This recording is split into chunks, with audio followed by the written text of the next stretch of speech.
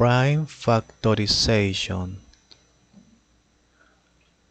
141 cannot be divided by 2 because the last digit is not even.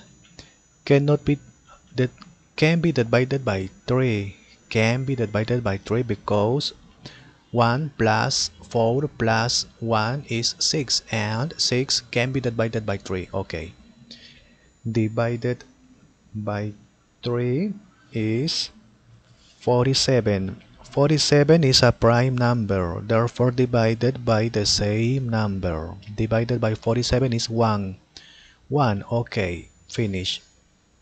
Here 3 here 3 1 time exponent 1 exponent is 1 therefore equal the same number. Next 47 1 time. Finish. Prime factorization